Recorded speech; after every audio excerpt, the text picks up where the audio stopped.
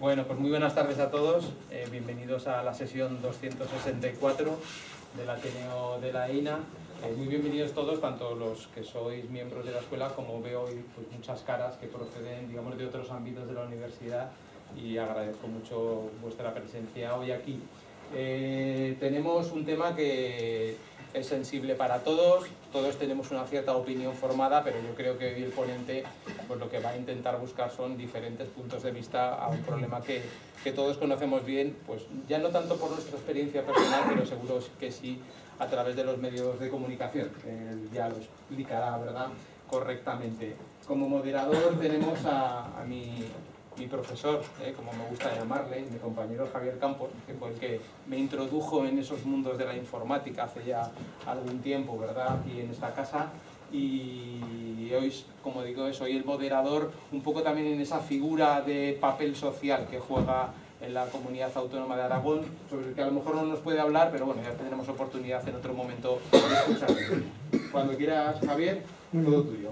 Muchas gracias, director. Eh, únicamente unas eh, notas, digamos, biográficas y de la actividad que ha venido desarrollando nuestro ponente de hoy, que es el doctor Javier Jiménez Olmos. Eh, comentar, bueno, el tema de hoy es el tema de los conflictos en Oriente Medio. Nos va a hablar de, de causas, consecuencias y también del futuro, de si existe una esperanza o no para la paz. Y bueno, él es, doctor en, paz y seguridad internacional. Luego comentaré algo sobre este título de doctorado porque suele sorprender en el, en ambiente académico.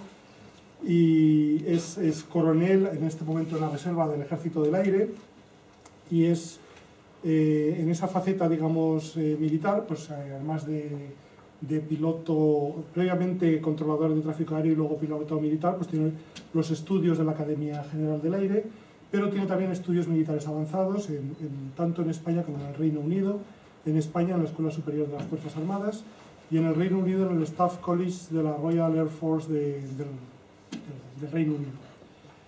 Eh, en la faceta, digamos, civil, eh, a partir de ya de la, de la década pasada, eh, se incorpora a, eh, como estudiante de doctorado al programa de doctorado de Paz y Seguridad Internacional, os cuento. Esto es un programa dependiente de un instituto universitario de la Universidad Nacional de Educación a Distancia, cuyo objetivo es eh, promover la docencia y la investigación en temas relacionados con búsqueda de la paz, seguridad internacional, defensa.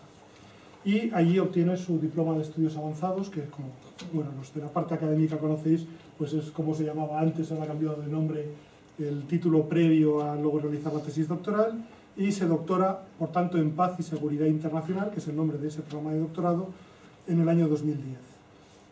Eh, actividades que viene realizando desde entonces, por citar alguna, es eh, miembro investiga e investigador de la Fundación Seminario de la Investigación para la Paz, de aquí de Zaragoza. Es también eh, miembro del grupo de expertos del Observatorio de la Cátedra de Paz, Seguridad y Defensa de la Universidad de Zaragoza, profesor de la Universidad de San Jorge, eh, mantiene una actividad literaria, yo diría que, bastante prolífica. Eh, por citar alguno, el último libro que he encontrado es eh, de Mira Editores, de aquí de Zaragoza, titulado Seguridad Internacional del Poder Militar a la Seguridad Humana. Tiene otros libros y capítulos de libros relacionados con este tema pero también nos sorprende alguna vez con, con, literatura de ficción y tiene publicada una novela corta que se llama El silencio de la memoria, con el Círculo Rojo en el 2011, que narra, la historia de Rufino, creo que se llama el protagonista, que deserta del ejército eh, republicano en la guerra civil en el frente de Teruel y bueno, sufre una serie de vicisitudes que le llevan a Italia, etc. Y os recomiendo su lectura.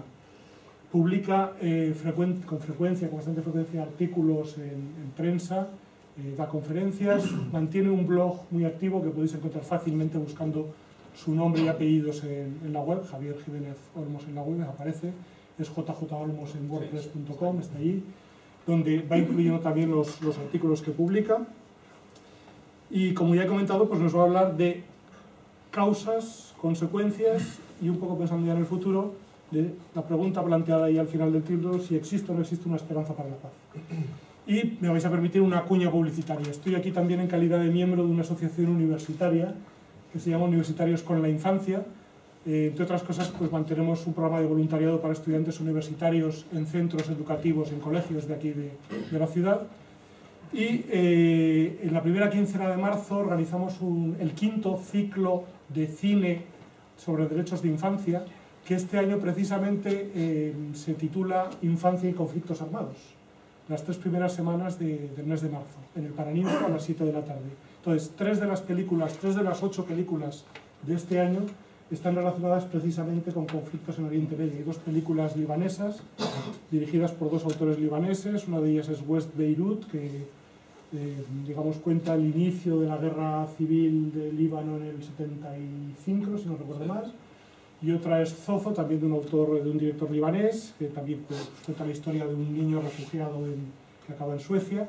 Y una tercera película, también sobre la zona, es eh, dirigida por un director kurdo iraní, pero la, la historia, pues, eh, digamos que se centra en un territorio, en el Kurdistán iraquí, cercano a la frontera con Turquía, también pues, en, en una, un asentamiento, digamos, kurdo cerca de la frontera de Turquía, y pues también narra un poco las historias de, de la infancia en, en ese momento, justo antes de la invasión por parte de Estados Unidos. Tres películas interesantes, ya digo, conflictos armados relacionados con lo que nos va a hablar. Entonces, he metido la cuña publicitaria por mi parte.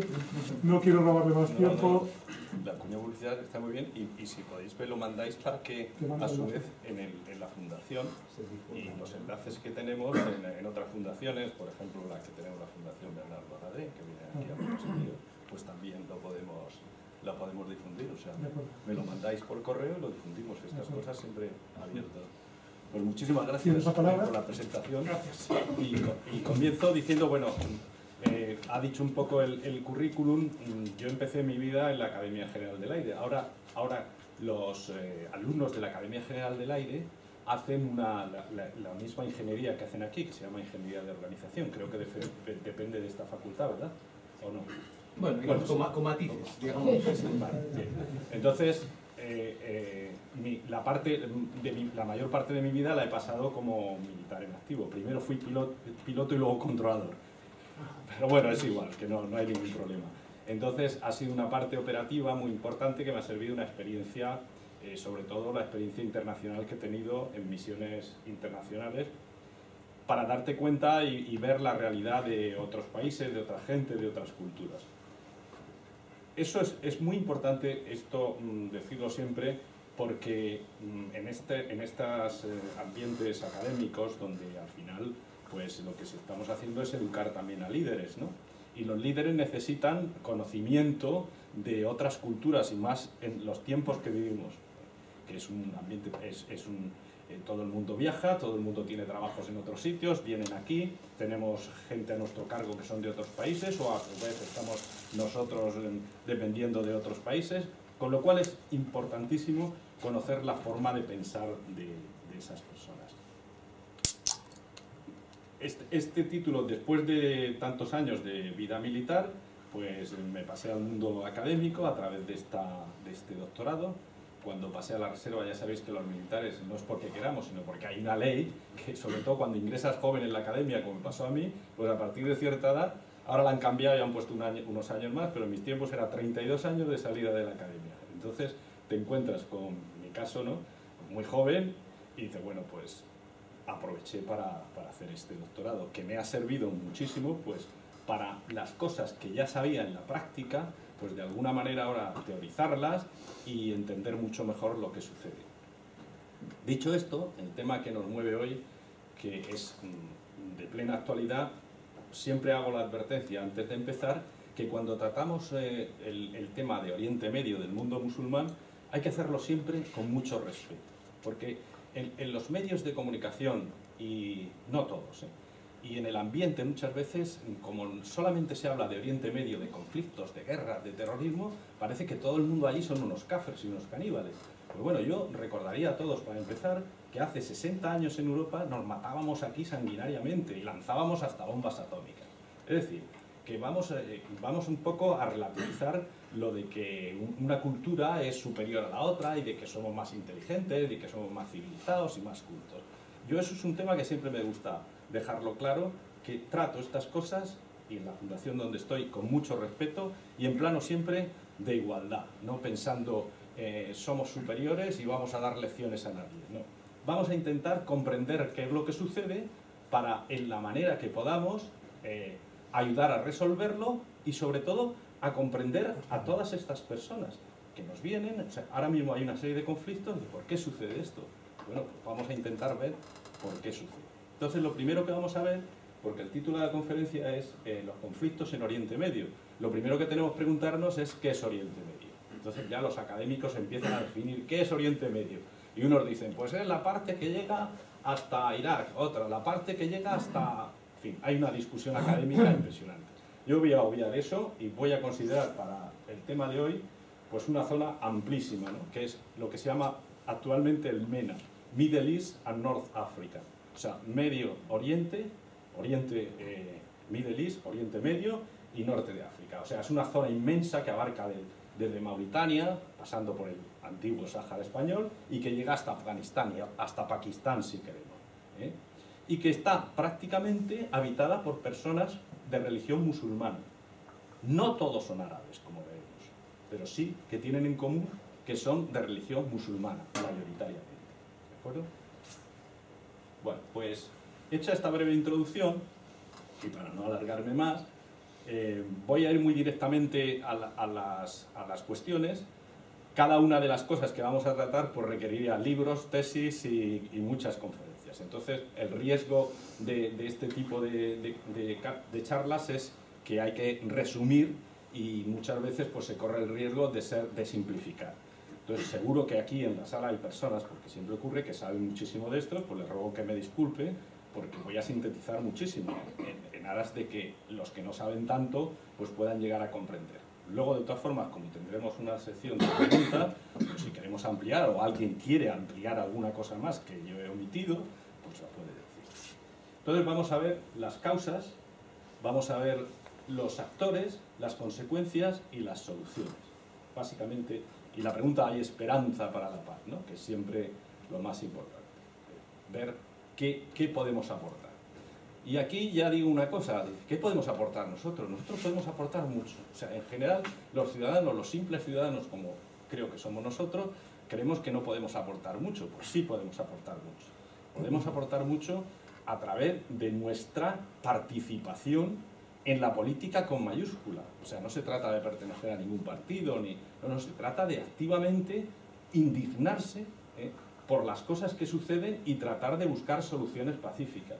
O sea, estos días estamos viendo el drama de los refugiados, que prácticamente parece que ya no existe, como aquí en España ahora mismo, como estamos en la época de los pactos, ya no hay otra noticia y es una tragedia inmensa. Imaginaros, o sea, imaginaros cualquiera de nosotros porque nos pensamos que estos sirios que están viniendo, ah, estos son como los perroflautas. No, no, son personas que vivían como nosotros, o sea, en un nivel más o menos como nosotros y de pronto se encuentran en una guerra y tienen que salir de su país, ¿eh? y los hay carpinteros, los hay médicos, los hay ingenieros, los hay mm, profesores, hay de todo, ¿eh? de todo. Entonces, y salen con su familia huyendo de una guerra que ellos no han provocado. Entonces, ese es el tema de que hay que movilizarse, insisto, movilizarse no se trata de salir con pancartas, ni se trata de, crear una, opinión ¿eh? generalizada para que las personas que tienen que tomar las decisiones no, no se duerman en los laureles. Bueno, pues dicho esto que forma parte de, de lo que tratamos también en la Fundación Seminario de Investigación para la Paz, de transmitir la cultura de paz, pues pasamos directamente. Entonces las causas, las causas mm, son múltiples. Hay causas históricas, nos podríamos remontar, para las causas históricas nos podríamos remontar siglos y siglos. Y estaríamos aquí hablando años. Hay unas causas inmediatas, les llamo inmediatas recientes, pues a las que han ocurrido después del conflicto árabe, prácticamente después de la Segunda Guerra Mundial, ¿eh? y las guerras que ha habido en Afganistán, Irak, etc. Luego hay unas causas económicas. Las causas económicas, que mucha gente trata de, omitirlas, son casi siempre fundamentales. Y esto, claro, entramos en el terreno ideológico hay escuelas la escuela realista dirá siempre, no, es que los hombres somos muy malos y nos peleamos siempre porque somos muy malos. Pues, pues a lo mejor eh, las causas son otras, o sea, a lo mejor la gente no es tan mala y resulta que por causas y motivos económicos pues eh, vienen los conflictos. Yo soy de los que defiendo de que gran parte de los conflictos son por cuestiones económicas. Y ahí englobo pues, un montón de cosas. Pobreza, la desigualdad, todas estas cosas. Y además hay unos factores potenciadores que ahora lo veremos. O sea, esto, el presentar una, una conferencia en PowerPoint se podría hacer. Sirve para dos cosas. Para que el, el, el que habla no se enrolle y vaya directamente al grano y para los, los escuchantes como ustedes pues puedan seguirla y que si en un momento determinado se distraen puedan recobrar el ¿eh? Entonces sigo. Y en las causas históricas nos podríamos remontar al Islam glorioso. Y hay que remontarse porque muchas de las cosas que estamos viendo hoy en día y que están diciendo eh, el, el Estado Islámico es que quieren volver a su Islam glorioso. Eso es el gen imperialista que no solamente llevan ellos, lo llevan los británicos, lo llevan los franceses, lo llevan los rusos, lo llevábamos nosotros, ¿eh? lo llevan los norteamericanos. ¿eh? El pasado esplendoroso, ¿de acuerdo? Esto es, hay que quedarse, el pasado esplendoroso del que el Islam llegaba hasta, hasta España, ¿no? Hasta lo que hoy es España, Andalus y todo eso. Luego, es, es, este pasado esplendoroso, de alguna manera, se lo come otro imperio, estoy resumiendo, el imperio otomano, que también musulmán, los turcos, ¿no? Los turcos no se expandieron tanto como, los árabes, pero sí que llegaron hasta los confines de, Viena, o sea, llegaron toda la parte de Bulgaria, los Balcanes y el norte de África, y parte de Arabia Saudí. Y aquí vamos al intríngulo de la cuestión, los imperios coloniales. Cuando, lo, lo recordarán y lo habrán estudiado, la Primera Guerra Mundial, el imperio otomano desaparece y porque los vencedores británicos y franceses se lo reparten y se lo reparten en Oriente Medio. ¿eh? Se lo reparten de tal forma que lo que es hoy la actual Siria y el Líbano pasa a, los franceses y lo que es Irak y Jordania e Israel pasa a los británicos. Entonces esto es importante porque todos los, todos los pueblos, nosotros también hemos sido imperio, y en todos los pueblos esclavizados y colonizados, ¿eh? de alguna manera queda un resentimiento. Y eso lo podemos ver, por ejemplo, si oímos discursos de algunos eh, presidentes latinoamericanos. Todavía queda esa... Es, es la verdad. O sea, entonces es to todas estas personas contra los imperios coloniales británico y, y francés, pues tienen mucho resentimiento. Luego ha venido otro imperio, que es el norteamericano, con el que también tienen resentimiento. Con el imperio soviético también. Porque de alguna manera los árabes más ligados al islamismo wahabista eh, criticaban a los soviéticos, aparte de por ateos, porque no les gustaba un sistema que socializara, porque de alguna manera Arabia Saudí había una monarquía elitista que quería, como quiere, como tiene, el poder en sus manos y eso significa dinerito, mucho dinero, ¿eh? para ser. Bueno, Hecho este resumen, llegamos al islamismo. El islamismo surge, bueno, antes de nada, vemos aquí el pacto Skype-Picot, que lo he puesto a modo de resumen, que fueron dos diplomáticos, uno francés y otro, digo, perdón, uno británico y otro francés, que eh, hacen el reparto de si ganaban la Primera Guerra Mundial. O sea, ya antes de acabar, lo mismo que Churchill, eh, Truman, eh, perdón, Roosevelt y, y, Stalin se repartieron Europa antes ya casi de acabar, cuando ya se sentían vencedores, pues estos señores hacen lo mismo. Y ahí queda lo que os he explicado antes. ¿vale? Entonces, al final lo que hacen es crear unas fronteras artificiales con escuadra y cartabón. Si uno visita esos países, verá que esas fronteras no tienen nada que ver con la realidad ni cultural ni con ni incluso religiosa, porque luego lo veremos también, están los suníes y los chiíes, aparte de los alagüitas, cristianos, drusos, bueno, montones de... Entonces es intentar, eh, como muchas fronteras de África, escuadra y cartabón. ¿eh?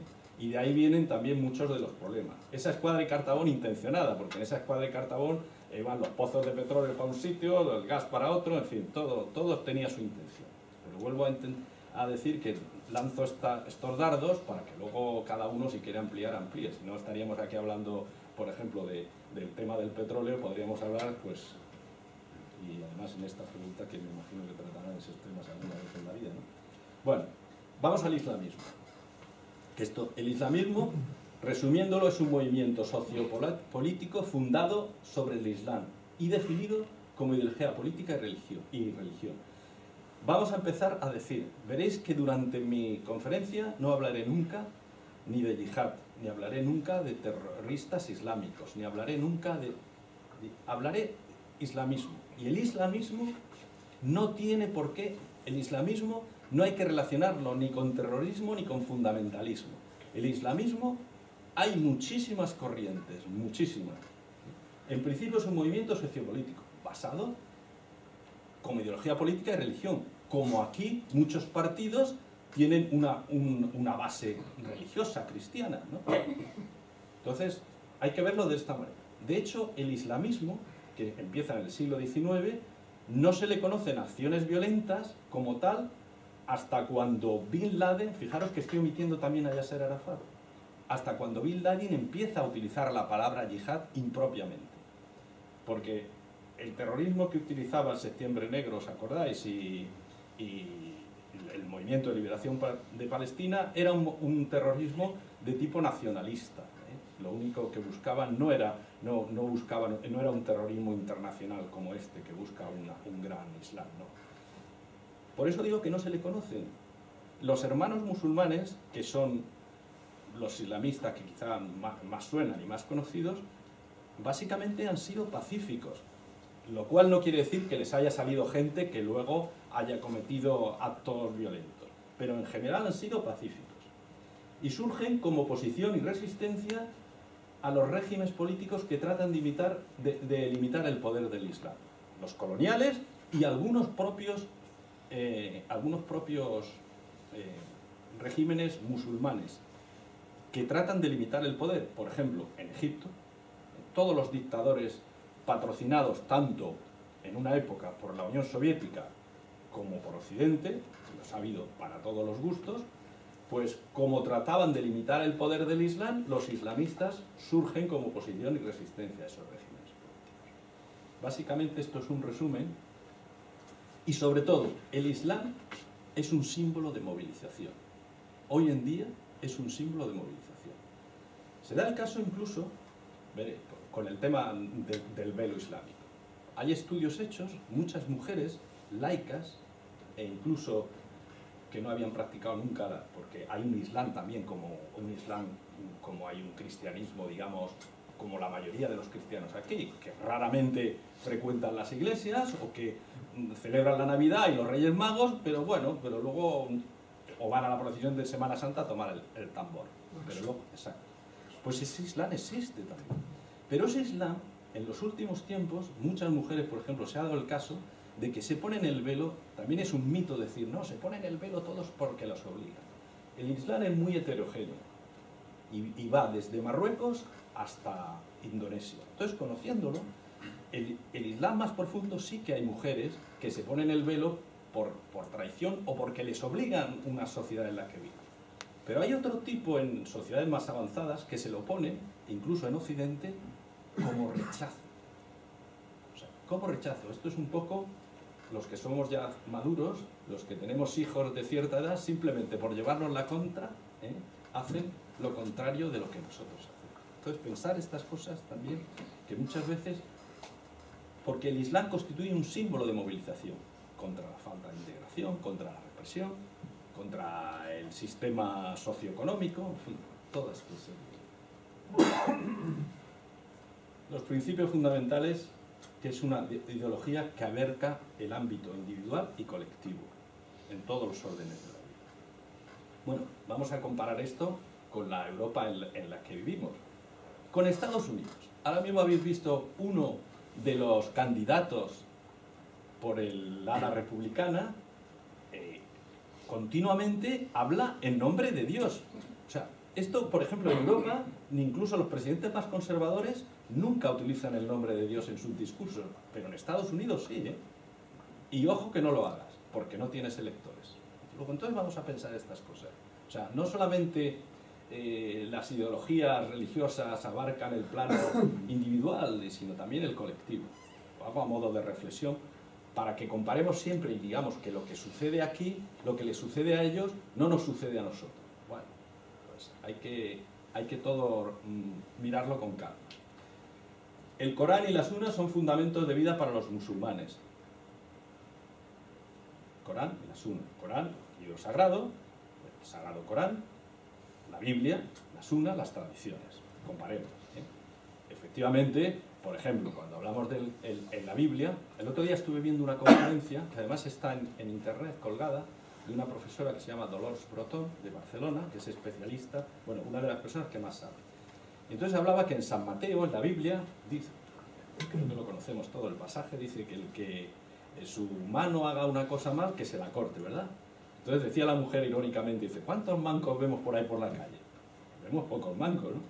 Pues esto del Corán es exactamente igual. El Corán tiene muchos, muchos versículos que depende de quién los interprete y en la época que los interprete interesadamente, pues hace lo que se hace. Vuelvo a repetir que no todos los musulmanes, ni incluso todos los teólogos musulmanes, están de acuerdo con esa visión integrista y fundamentalista. La Sharia es la codificación de las dos fuentes anteriores, o sea, es el, modo de la norma. ¿eh? Por eso decimos, van a imponer la Sharia. Bueno, la Sharia, la Sharia es, depende de cómo, o sea, cómo la interpreta el Estado Islámico cómo la interpreta Arabia Saudí y cómo la han interpretado los ayatolas de Irán. No solamente el Estado Islámico, pero no han sido ellos, sino han sido los dictadores que los manejan. Bueno, el objetivo, el objetivo es la UMA o comunidad, el objetivo de la UMA, o la UMA es la comunidad islámica, es lograr la soberanía de Dios en la tierra. Y, esto es muy importante, rechazo de la occidentalización y secularización. Es decir, no, no es que se odia a Occidente, sino rechazan la cultura de Occidente como al que culpa de todos sus males. O sea, los islamistas, sobre todo los más radicales, Occidente es el culpable de que nosotros nos encontremos en la situación que nos encontramos. Entonces, a, la hora de estudiar todos estos problemas, el factor motivación que tienen para enrolarse en grupos extremistas es algo que el de la dignidad, o sea, sienten su dignidad perdida. Imaginemos un oficial del ejército iraquí derrotado por los invasores occidentales y que encima los pulsan y lo mandan al paro. Aparte de mandarlo al paro, no tener donde comer, ha perdido su dignidad. Y esa dignidad, esa dignidad que ha perdido, le hace enrolarse en grupos fundamentalistas. Pensemos estas cosas porque son importantes a la hora de resolver los problemas y a la hora de las lecciones aprendidas. Cuando se quieren hacer soluciones drásticas, militares y todo esto, hay que pensar siempre en el día después. Hay que ser muy cauto. Bueno, las causas inmediatas las, podemos encontrar en el conflicto árabe-israelí, que es conocido de todos y que no está resuelto y que está silenciado últimamente porque hay tantos conflictos allí que ya es imposible estar los, y entonces, pues en, estos momentos el conflicto árabe-israelí está silenciado, pero recordemos que existe la franja de Gaza y los territorios ocupados en Cisjordania. Yo no voy a entrar aquí en quién tiene razón o quién no tiene razón. Lo cierto es que eh, eh, los palestinos tienen un problema muy grande que no se resuelve, entre otras cosas, porque el Consejo de Seguridad, en manos de cinco naciones, cada vez que hay una resolución contraria a los intereses de Israel es boicoteada por Estados Unidos. En el Consejo de Seguridad, las resoluciones, el, país que más veces ha boicoteado, o sea, que ha impuesto el, derecho de veto, ha sido la Unión Soviética. Cuando la Unión Soviética desapareció, ahora en el ranking está Estados Unidos. Y la gran mayoría de sus vetos tienen relación siempre con Israel otra cosa para pensar. Vamos a Afganistán. Recordemos año 1979, víspera de Navidad, Guerra Fría, los soviéticos invaden Afganistán. Afganistán eh, es, una zona estratégica muy importante y los Estados Unidos, que están en lucha continua contra la Unión Soviética a tiempos de la Guerra Fría, lo que hacen es apoyar a quién? A los a los que hacen la yihad. La palabra yihad, la palabra yihad significa, todo el mundo, si vas al diccionario español, significa, pone el diccionario español, que hay, una corriente ahora para quitarlo, pone guerra santa. No es cierto.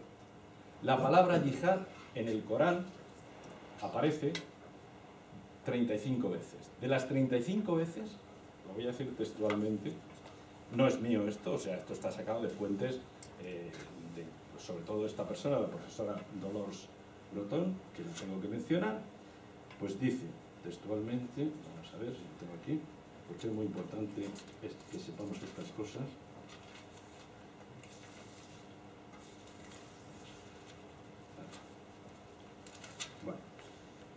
El término yihad siempre es confusión. Para empezar, se pone con Y cuando se tenía que poner con una J, pronunciada como G, como en inglés. ¿no? Pero bueno, eso es la primera cosa. Entonces, la yihad, el Corán, la palabra yihad lo menciona 35 veces.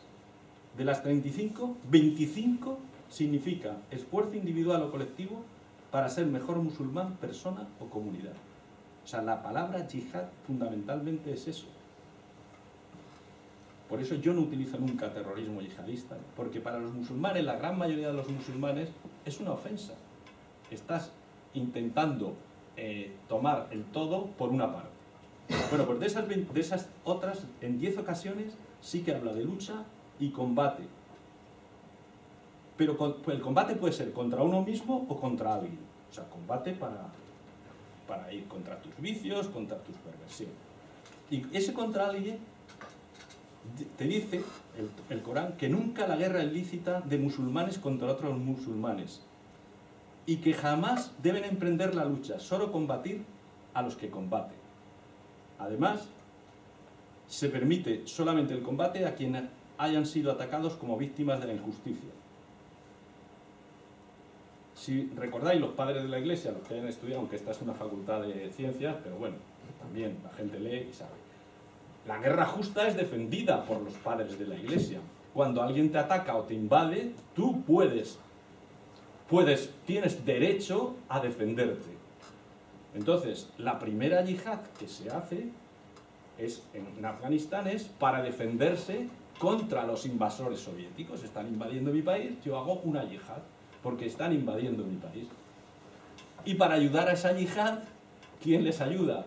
Les ayuda Estados Unidos. Estos son ya datos objetivos y comprobados con el tiempo. Todo el mundo sabe que la CIA proporcionó ayuda militar, entre otros los misiles Stinger, para derribar los helicópteros soviéticos, lo cual contribuyó a la derrota de los soviéticos. Pero lo más importante es que el embrión de Al-Qaeda, que nace en, Afganistán, en un principio fue apoyado por no solamente Estados Unidos, sino Arabia Saudí y las petromonarquías. ¿eh? ¿De acuerdo? Porque temían la expansión de los soviéticos. Eso es un punto importante. Luego ahí en la guerra de Afganistán aparece, fijaros, el germen Al-Qaeda, ¿eh? aparece ahí, aparece el señor Bin Laden y sus compañeros. Y luego el siguiente paso más dramático es la guerra de Irak la invasión de Irak. No voy a entrar aquí, eh, tengo artículos, incluso un libro escrito al respecto, sobre el que sí que manifiesto claramente, a mí la invasión de Irak fue ilegal, con la ilegal internacionalmente, pero es una visión mm, particular que podría ser discutido. Creo que casi todo el mundo lo reconoce hoy en día, menos algunas personas. Pero eh, Irak es una invasión que no se ajusta al derecho internacional. Se hace con unas excusas que no vienen al caso, como se ha demostrado después, eh, no había armas de destrucción masiva. En ningún momento, eh, en estos días, eh, la próxima semana saldrá un artículo mío sobre el nacimiento del Estado Islámico, en el que con documentación pues mm, hago argumento de que el, Estado Islámico es una consecuencia directa de, esta invasión de Irak. Y que no había ninguna ligazón entre Al-Qaeda y el régimen de Saddam Hussein. O sea, eso, em, Al-Qaeda empieza a entrar en Irak en el año 2003, después de la invasión, con un señor que se llamaba Al-Zarqawi. Sonará, ¿no? Bueno, pues este señor es el que de alguna manera hace el enlace con Al-Qaeda. Pero previamente Saddam Hussein no, solamente no tenía ningún enlace, sino que eran una enemistad decir, los argumentos con los que se invade Irak se pueden deducir que, bueno, se ha visto con la historia. Pero lo más importante de esto es que los, norteamericanos, cuando como fuerza eh, administradora de la invasión, nombran a un señor que se llama eh, Paul Jerry Bremen, Jerry para los amigos. Este señor Paul Jerry Bremen decide, seguramente por instrucciones superiores, de desmantelar el partido Baathista, Baath, ¿eh? que era el partido que sostenía Saddam Hussein. Y para lo cual no se le ocurre otra cosa que en vez de hacerlo con el partido, hacerlo con los individuos. Es decir, coge y todo aquel que pertenecía al partido Baath queda expulsado de la administración, sea militar o civil. Fijaros el desmantelamiento total. Yo pongo el ejemplo, sobre todo para los que somos aquí un poco veteranos. Imaginaros que en el tiempo del franquismo, yo por ejemplo, cuando entré en la academia, tuve que jurar los principios fundamentales del movimiento. Luego pertenecía al partido Baath, por narices. O pertenecías al partido Baath o te ibas a la calle. Pues en, en Irak exactamente igual. La gran mayoría de la gente pertenecía al partido Baath bueno, aquí en la administración o pertenecía al movimiento o no tenías un cargo en el ayuntamiento. O sea, eso los que han vivido una dictadura en cualquier sitio lo saben. Bueno, pues cogen y echan a la calle a toda esta gente. Con lo cual se encuentran, aparte de desempleados, lo que os he dicho, militares bien preparados, habían participado en varias guerras, muy inteligentes, y de ahí surge el Estado Islámico, en la calle, sin empleo, y con la dignidad perdida. Por eso, causas inmediatas. Muy importante. Encima, cometen la torpeza de meterlos a todos en una cárcel que se llama Kambuka. Es la sucesora de la famosa de Abu Ghraib. Esta la hacen diciendo, no, esta cárcel es mejor, es más humana, y los meten ahí a todos juntos. Y eso es la verdadera escuela del Estado Islámico. Ahí hay un señor que se llama al-Baghdadi, que sonará también, que es el jefe del Estado Islámico, el califa, y en esa cárcel, que habría unos 35.000 presos, había de todo. Había fundamentalistas y había moderados. Pues mm, consiguieron que salieran muchos más fundamentalistas de lo que habían entrado. O sea, una torpeza enorme. Una torpeza que incluso los propios iraquíes chiíes, esta documentación la he sacado pues, de algunas fuentes como Al Jazeera y Al Arabilla, o sea, metiéndote en el mundo árabe o hablando con algunos de ellos, ves, te das cuenta de que eh, los propios iraquíes se daban cuenta, pero los norteamericanos, ¿qué torpeza estáis cometiendo de meter a toda esta gente en la misma cárcel? ¿Eh? Es un poco, si os acordáis aquí, las escuelas principales de los presos de ETA, ¿dónde estaban? En las cárceles también, o sea, es que es, que es una cosa de no aprender las lecciones de la historia, ¿no? Bueno, pues de ahí sale precisamente precisamente salen un montón de, tales así que ahora hace poco salió un documento que la cúpula la cúpula de Al Qaeda, digo de Al Qaeda, del Estado Islámico, más de la mitad de los dirigentes, de los máximos responsables, eran oficiales del ejército de Saddam Hussein. Y por eso el Estado Islámico no nos sorprendamos de que actúe de la manera que actúa. O sea, el Estado Islámico actúa de una manera muy inteligente actúan como militares. Parte de la parte del terror que utilizan como propaganda y que, entonemos en mía culpa, todos los ejércitos del mundo, todos en las guerras, han utilizado el terror, y esto ya sé que me cuesta en muchos sitios, y más siendo militar, me cuesta eh, polémica.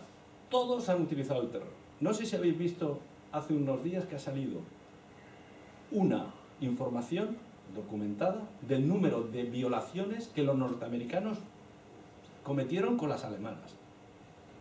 Sí, violaciones. Porque es que en la guerra, que es mucho peor, en la guerra es el paroxismo del terrorismo. O sea, la guerra es terrible, la gente pierde eh, todo, todo. Entonces, esta gente del Estado Islámico, estos oficiales, actúan precisamente como verdaderos militares. Toman terreno con tácticas militares eh, y, saben perfectamente lo que hacen, cada paso. Incluso utilizan a Goebbels, la propaganda, si no les hemos enseñado nada, nada absolutamente, o sea, perdón, no nos han enseñado nada. Todo, o sea, utilizan la propaganda, todos estos vídeos de terror, dicen, estos, estos vídeos de terror sirven, aparte de, para atemorizar a la gente, sirven para reclutar gente. Dice, ¿cómo es posible que haya gente que se deje reclutar por esto?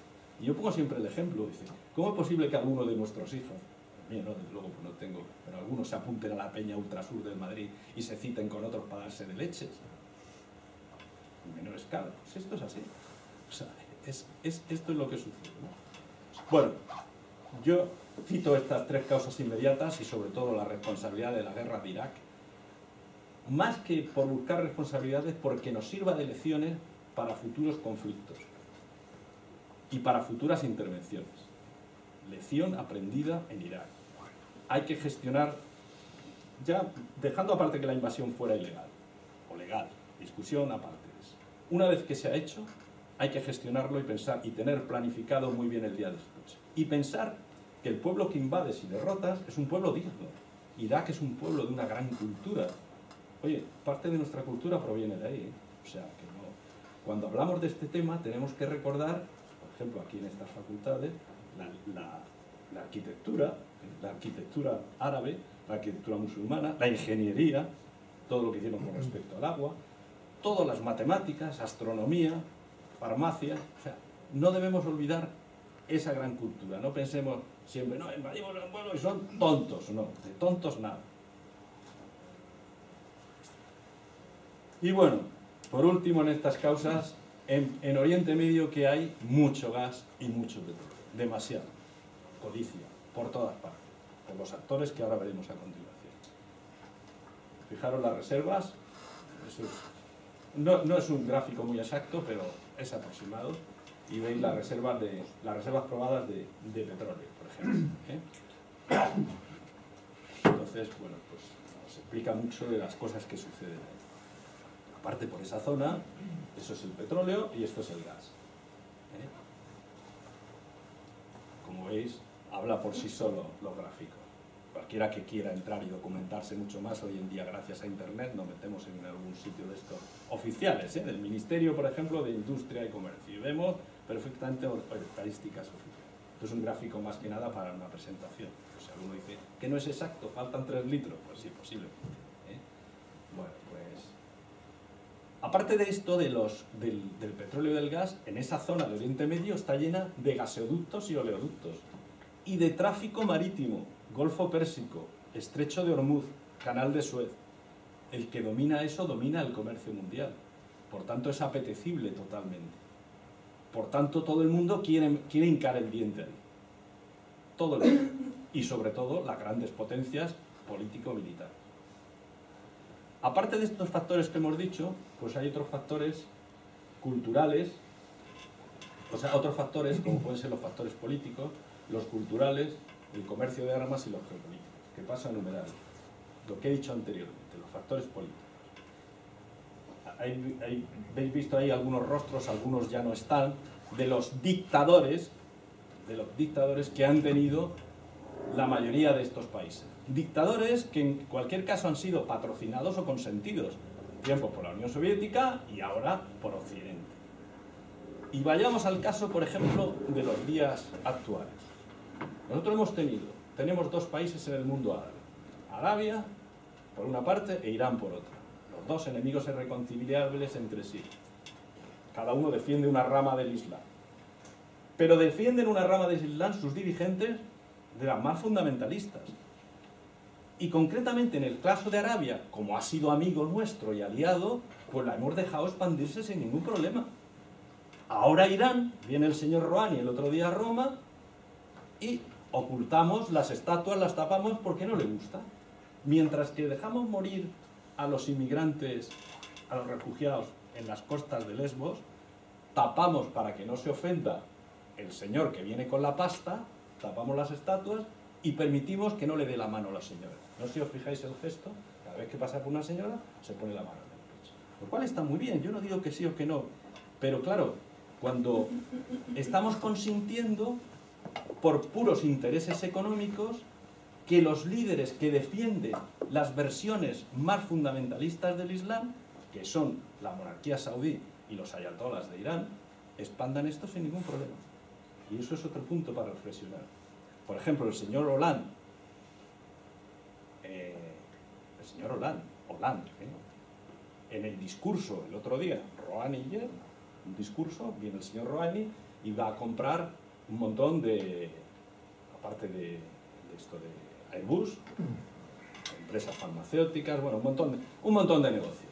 Y en esa comparecencia al señor Hollande no se le ocurre en ningún momento hablar de los derechos humanos, por ejemplo, de las mujeres en Irán, o por ejemplo, de las oposiciones de izquierdas en Irán. Lo mismo digo con la monarquía saudí. No se nos ocurre ninguno. Oye, business is business. Pero luego recogemos las tempestades, porque el Estado Islámico, por ejemplo, las normativas que tiene son fundamentalistas wahabistas, las mismas que en Arabia. Si robo, me cortan la mano. Si soy una adúltera, me, me la piden. Luego eso es lo que hay que pensar. No hay que pensar en los musulmanes, sino en sus dictadores. Lo he dicho al principio, yo creo que no soy dudoso de no tratar con respeto a los musulmanes, además los que me conocen saben que los sigo, los respeto y respeto perfectamente. Lo que no respeto es a sus dictadores, que les inculcan esa serie de, esa versión eh, fundamentalista de la religión, sin otro motivo que el de manipular y mantenerlos en la ignorancia. Y esto recordemos otros tiempos pasados, España y otros países de Europa retrotragámonos en la historia, no es algo genético de ninguna religión, es producto de la gente que quiere alienar y manipular. Y la religión es un factor potenciador fenomenal para eso, sobre todo cuando hay ignorancia. Las dos ramas fundamentales del Islam, que es otro de los problemas, son los chiíes y los suníes. Ahí lo veis. Los chiíes vamos a relacionados con los persas y los suníes con los árabes. Básicamente la división sucede a la muerte del profeta, a la muerte del profeta Muhammad, que ocurre que hay una lucha por el poder, una lucha por el poder. Entonces aparecen estas dos ramas. Sería otra conferencia, pero simplemente lo dejo ahí. Y no hay que confundir el, mundo musulmán con el mundo árabe. El mundo árabe es más limitado que el musulmán y los árabes no son ni siquiera mayoría. Donde más musulmanes hay es en Malasia y en Indonesia y en India. ¿eh? Más que en estos países. ¿De acuerdo? Bueno. Otro problema importante de lo que ocurre en Oriente Medio es las armas, el tráfico de armas. Impresionante. Hay una estadística, lo podéis ver, por ejemplo, qué países le venden armas a Arabia Saudí, que es el país que el año pasado incrementó más su gasto militar. 80 mil millones de dólares. Yo no sé ni escribir la cifra. 80 ¿eh? mil millones de dólares, que se dice pronto. El cuarto país que más gasto militar tuvo, Arabia Saudí. Y esas armas se las vende alguien. ¿Se las vende quién? Principalmente Estados Unidos, como veis ahí, se las vende Francia, el Reino Unido, España también le vende algo. ¿De acuerdo? Pues esto es para reflexionar. Una de cada cuatro armas en el mundo se vende en Oriente Medio. Eso es un polvorín. Voy un poco deprisa, ahí veis el gasto militar de Arabia Saudí, el incremento. Y sobre todo, lo que he dicho antes, esta zona del mundo es una zona geoestratégica fundamental, es cruce de paso. El que domina cruce de, de comunicaciones, el que domina esta zona, domina una parte del mundo, entre Oriente y Occidente. Y esa es la lucha. Voy a pasar deprisa los actores internos, ya hemos dicho que es la rivalidad suní-chií, y la lucha por la supremacía musulmana. Hay una lucha interna, una lucha en la que están Irán, Arabia, Turquía y un poco menos ahora Egipto. Pero entre ellos querían tener la supremacía, aparte de política, militar, económica e ideológica del Islam, que es muy importante. Y luego de Israel, que merecería capítulo aparte. No dentro del mundo musulmán, sino Israel, que es parte del problema. Y también puede ser parte de la solución. Todos son parte del problema y parte de la solución. Así que he enumerado brevemente los actores y los actores externos pues ya lo sabemos todos. Es que no hace falta decir que las grandes potencias quieren hincar el diente ahí por las razones que hemos dicho. Principalmente razones económicas y razones geopolíticas. ¿De acuerdo? Bueno, pues vamos a las consecuencias. Las consecuencias... ¿Cuánto tiempo tenemos? Un cuarto de hora más. Consecuencias. El sentimiento del Islam, el sentimiento que ellos tienen es de humillación y desprecio. Sea, eso tenemos que vernos. O sea, eh, tienen que ver muchos musulmanes con respecto a los occidentales, no a los occidentales como nosotros, sino a los poderes, tienen una sensación de humillación y desprecio. porque durante muchos siglos se les ha invadido y se les ha despreciado como incluso en el lenguaje cada día los despreciamos, o sea, eso es muy importante. ¿eh? Las películas, en la culturización por el cine, ¿cuántas veces vemos las películas norteamericanos? El, el héroe es Donald Trump, rubio, guapo y alto, y el malo uno pequeñito abajo y con barbas, ¿no? Y moreno, ¿verdad? Pues ha producido inestabilidad, desigualdad, subdesarrollo, revoluciones, golpes de Estado, dictadores, violación de los derechos humanos, refugiados y desplazados, guerras, ahora mismo en curso en Oriente Medio. Aparte de la de Siria, es que nos olvidamos, en Irak hay guerra, ¿eh? y en Afganistán hay guerra, y en Yemen hay guerra, y en Libia casi guerra. O sea, y luego el terrorismo, que también merecería conferencia aparte. Esto se ha aprovechado por algunos para, mm, de nuevo, incitar a la, al choque de civilizaciones. Es decir, el mundo musulmán contra el occidente y a la recíproca. Aquí hay mucho interés por mí. Entre otras cosas, si habéis visto en los últimos tiempos, siempre que se habla de estas cosas de los musulmanes, siempre te sale algún ministro o algún jefe de alguna organización internacional que hay que aumentar los gastos de defensa. Entonces vamos a pensar también dónde van los tiros. Esto del choque de civilizaciones, para los que estén interesados, y no es propaganda de mi libro, porque está en las bibliotecas, o sea, que no hay que comprarlo, es, yo hice un libro que se llama Del choque a la alianza de civilizaciones, en la que modesta parte, modestia aparte, desmantelo un poco el, la teoría del choque. O sea, aquí lo que hay es un choque sobre todo de intereses. Porque hay una cosa evidente, que en las cuestiones de atentados terroristas se cometen muchos más contra los propios musulmanes que contra Occidente. Es muy, espectacular lo que ocurre en París, pero nada comparado con lo que ocurre a diario en Pakistán, en Afganistán, en Nigeria, en Siria, nada. Y eso se hace entre ellos mismos.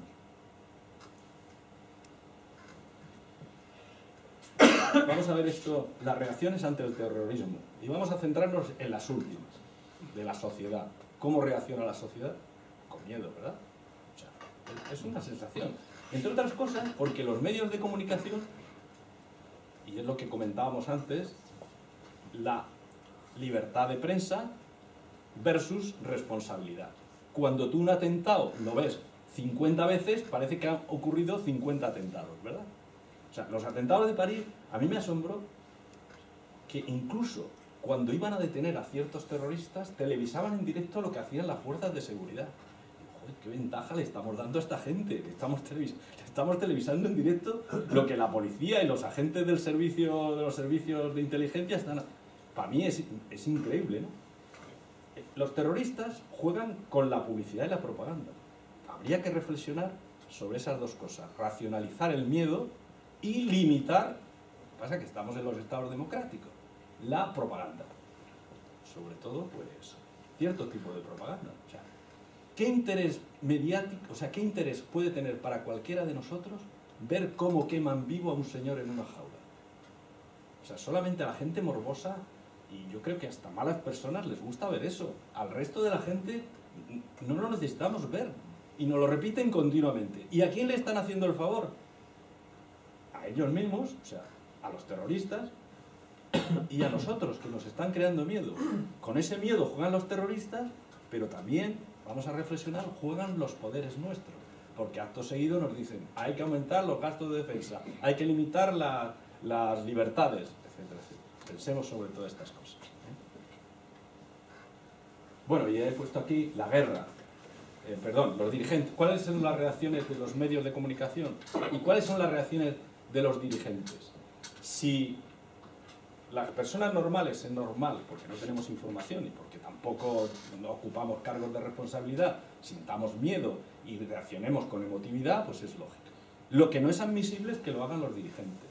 Lo que no es admisible es que un dirigente, después de, un día de cometerse el atentado, diga es que sabíamos lo que iban a hacer y es que estamos en guerra. Me refiero al señor Hollande, le pongo nombre y apellidos. ¿eh? Por ejemplo, ¿eh? porque hizo exactamente lo mismo que el señor Bush. Estamos en guerra.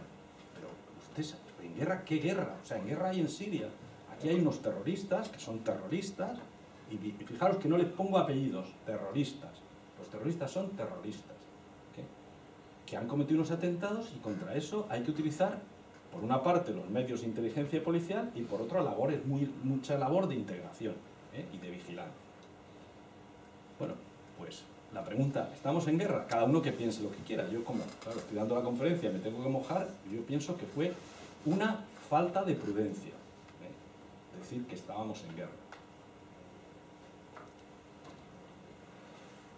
Y vamos ya por fin a la última parte de la conferencia, que son las soluciones. ¿Hay esperanza para la paz? Pues lo que he dicho al principio, si fuimos capaces de, después de una guerra mundial que costó 50 millones de muertos, no sé cuánto la segunda, porque las cifras, y hemos sido capaces en Europa de convivir mejor, bien, porque unos idealistas soñaron y se le cumplió el sueño, ¿no? Pues ¿por qué no pensar que también aquí puede ocurrir? Decía un día un profesor, se llama Bishar Akader, que viene muchas veces por, el, por la fundación, que es un palestino cristiano, y decía, fijaros si en, en, en Palestina se consiguiera que Jerusalén, en vez de ser una capital dividida con atentados, con líos continuos, fuera una capital donde se viviera en paz, turística, irían más turistas que a Roma. O sea, fijaros la cantidad de ingresos que se podían tener en una Jerusalén en paz, de la cual todos saldrían beneficiados, todos. ¿eh? Bueno, pues esos sueños son los que hay, que hay que soñar para hacerlo realidad. Lo que decía al principio, los soñamos mucha gente y hay que transmitirlos. Una de las labores que nosotros hacemos, repito, es transmitir ese mensaje positivo para que no se cumplan las profecías de los malvados, del choque, no, sino para que se cumplan otro tipo. Entonces, intentar transmitir este tipo de soluciones. Por supuesto, la varita mágica no la tiene nada. Y las soluciones tienen que ser integrales y globales, de todos los actores. Y tiene que pasar por las soluciones diplomáticas. Por ejemplo, un primer paso que se ha dado es con el tratado nuclear con Irán. Irán era un actor aislado, ¿eh? solamente con relación con Rusia, y ahora se ha conseguido que vuelva a la comunidad internacional. De alguna manera, eso, aparte del tema económico, se ha conseguido lo que ya muchos defendíamos desde hace tiempo, de que se sentara en la mesa de negociación para resolver el problema de Siria, porque es un actor importantísimo. Es que sin Irán no se podía contar. Entonces, ahí está, sentado es un primer paso, es un paso importante. ¿eh? Es un paso importante. Por eso, una gran conferencia de paz, pero aparte se necesita, como ocurrió aquí cuando acabó la Segunda Guerra Mundial. ¿Qué ocurrió? Y a lo mejor entro en un terreno ideológico en, el, que, cual puede haber, eh, puede haber discusión. Pero ¿cómo se consiguió el progreso de Europa? ¿Con un neoliberalismo puro y duro? o con una economía planificada como el Plan Marshall. El Plan Marshall fue parte de una economía planificada, un gran plan de desarrollo. Luego, hay que pensar muy bien si el sistema económico no debería a, este, a esta parte del, mundo hacer ese mismo plan Marshall, llamémosle plan como se quiera, para un gran plan de desarrollo. Y eso no surge de los mercados, vuelvo a repetir. Eso surge de una planificación. Y vuelvo a decir que puede haber discusión ideológica, por supuesto. Soluciones inmediatas, cortar las fuentes de financiación de las facciones violentas. Porque ahora mismo las facciones violentas están recibiendo dinero. Lo reciben de Arabia. O sea, las facciones violentas no solo solamente son el Estado Islámico. Hay un montón de grupos salafistas opositores al Assad que cometen también atrocidades, ¿eh? no lo olvidemos y, grupos afines a Turquía que también lo hacen. O sea, la complejidad de todo esto, aquí no hay buenos, aquí cuando empiezan a decir la oposición moderada, pero ¿ustedes saben lo que es una guerra? Ustedes díganme en una guerra quién hay moderado. Nadie. O sea, es, ahí no hay moderado nadie. Entonces están recibiendo esa gente subvenciones. Y están financiándose con un petróleo, por ejemplo, que se vende en el mercado negro que está demostrado también que países vecinos como Jordania y Turquía lo están comprando. Y está financiado por la venta de obras de arte. ¿Cualquiera de ustedes puede comprar obras de arte millonarias? Yo no lo sé, igual hay alguno en la sala que sí. Yo desde luego no. Y para comprar esas obras de arte millonaria, ¿dónde se compran? En el mercado negro. ¿Y con qué dinero? Negro. ¿Y de dónde sale? De los paraísos fiscales. Luego, mea culpa también. ¿eh? Por supuesto, hace, hace unos, meses, esto lo hablé también un día en un programa de radio, se celebraron unas maniobras militares, ¿se acuerdan? 40.000 hombres aquí. Tres semanas antes se habían celebrado otras de los, de los rusos de otros 40.000 hombres, con sus aviones, con sus aviones de transporte, con sus medios militares. Y yo la pregunta que me hago, si a modo de UME, a modo de unidad militar de emergencia como tenemos en España, si esos medios militares no se podían haber empleado para ayudar a los refugiados. En vez de morir en el mar y, caer en manos de las mafias y explotadores de niños, si esos medios militares, o parte de esos medios militares, tanto de rusos como de como occidentales, como de la Liga Árabe, ¿eh? no se podían haber empleado para ayudar a esa gente. Bueno, pues eso depende de las presiones que se hagan sobre los gobiernos, y las presiones las hacemos los ciudadanos y las ONGs. Cortar el flujo de armas, lo cual es difícil. Vuelvo a repetir que mientras le estén insuflando armas allí, por ejemplo, el Estado Islámico dispone de tanques, tanques de última generación, que los ha capturado, se los ha capturado al ejército iraquí, o los ha comprado en el mercado negro, o, los ha, o, se los han vendido los rusos. Entonces, hay un tráfico, por ejemplo, últimamente eh, se cree que Turquía incluso le está vendiendo armas. Eh, bueno, los mercados de armas son terribles, es un mundo... Entonces, y casi siempre con financiaciones ilegales corredores humanitarios de protección de la ONU, insisto, para esos, para esos corredores humanitarios sí que sería admisible que con una resolución de la ONU, si hubiera una protección aérea, ¿eh? emplear los medios militares para determinados puntos, es decir, bueno, para esos corredores humanitarios donde pueda fluir los alimentos para las ciudades sitiadas o para que puedan eh, fluir los refugiados, pues ahí sí que tendríamos que emplear los medios militares. Y luego una información responsable. Es otra cosa indignante para los que, aquí alguien ha llamado experto, para los no, a mí no me gusta la palabra experto, para los que estudiamos el tema, ¿eh? para los estudiosos, vemos muchas veces cómo en determinados medios de comunicación se hacen informaciones incendiarias totalmente. Incendiarias. O sea, con una falta de respeto y, de, y una falta de objetividad absoluta. Y eso también influye a que, muchas de las personas que están viviendo aquí con nosotros se radicalicen. Bueno, el derecho de injerencia y la intervención humanitaria, y lo voy terminando, si hiciéramos una coalición militar para atacar, decimos, ¿y a quién atacamos? Porque dices, bueno, tú entras ahí, ¿a quién atacas? ¿A quién? ¿Y cómo lo atacas? Yo lo ha dicho en, uno de mis últimos destinos fue jefe de la división de planes operativos, es decir, donde hacíamos todos los planes operativos de eh, todo lo que relacionado con aviación, transporte, ataques aéreos. Entonces yo sé lo que es planificar un ataque aéreo. dice, bueno, ¿cómo planifico un ataque aéreo en un sitio de este? ¿Cómo lo planifico? A ver, ¿a quién planifico? ¿A quién ataco? ¿Cómo lo hago? ¿Con qué, con qué eh, sistemas de armas? De qué inteligencia dispongo para saber que estoy atacando al objetivo adecuado. Son muchos interrogantes. O sea, es muy fácil decir, vamos a atacar, vamos a bombardear. Por eso durante estos días, lo he dicho siempre, las intervenciones más sensatas que he visto en los medios de comunicación, y no soy corporativista, se las he oído en este aspecto a militares, porque saben de qué hablo. ¿eh? O sea, si lo habéis seguido... Bueno, habría que pensar en el día después, el futuro de la región, la reconfiguración de fronteras, porque no he hablado, por ejemplo, de los kurdos. ¿Qué pasa con los kurdos? ¿Qué hacemos? ¿Qué hacemos con la división suní en Irak, que es totalmente artificial? ¿Qué concesiones hacemos? ¿Qué concesiones se hacen? Todas esas son interrogantes. Por último, hay que fomentar las iniciativas de paz, sobre todo la educación, los medios de comunicación la atención a la inmigración y los refugiados y la integración.